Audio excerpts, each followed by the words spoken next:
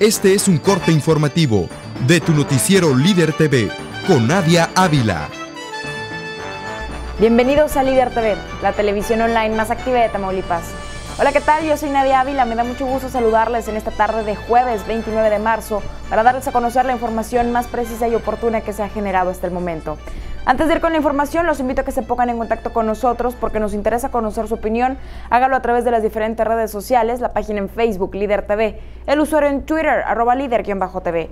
También puede usar la manera convencional, nos puede llamar por teléfono a la línea líder. El número aquí en el foro de Nuevo Laredo es el 867-711-2222. El sector turístico de Tamaulipas se declaró listo para recibir a más de un millón de visitantes durante el periodo vacacional de Semana Santa, que se presume dejarán una derrama superior a los 650 millones de pesos.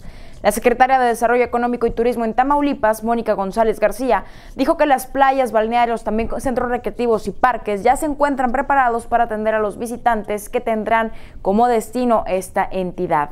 También es importante destacar que diversas fuerzas federales, estatales y municipales coordinarán acciones y programas encaminados a brindar vigilancia y protección a los visitantes, tanto en carreteras como en centros recreativos.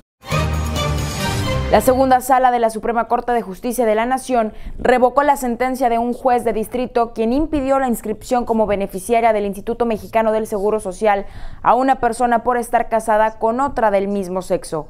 Los ministros integrantes de la segunda sala anularon la resolución luego de que el juez tercero de distrito desechara una demanda de amparo en la que se reclama la decisión del IMSS de no inscribir a una persona en el régimen de seguridad social, argumentando que la ley del seguro social no permite registrar como beneficiario en el supuesto de matrimonio o concubinato a una persona del mismo sexo que el asegurado.